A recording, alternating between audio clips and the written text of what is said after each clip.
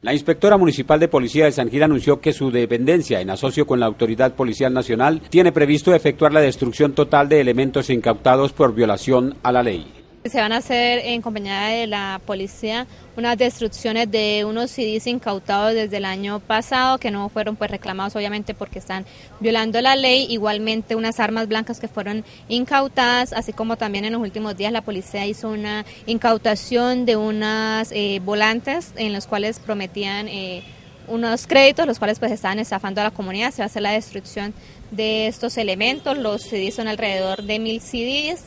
eh, y bastantes eh, elementos, bastantes armas blancas que fueron que han sido decomisadas en los en el último pues año en el cual estuve a cargo de la inspección. La acción destructiva de los elementos está prevista para la mañana de este primero de agosto. En un taller de fundición que nos van a prestar para el para tal motivo, teniendo en cuenta que hay que eh, estos elementos no solamente tienen que ser pues incinerados para que se destruyan totalmente. La inspectora en su dejación del cargo manifiesta que hubo razones de orden profesional y personal para presentar la renuncia. A partir del día 31 eh, de julio presenté mi carta de renuncia, ya me fue aceptada, es decir, que hasta el 31 de julio ejerzo mi cargo como inspectora de policía. Por motivos profesionales y personales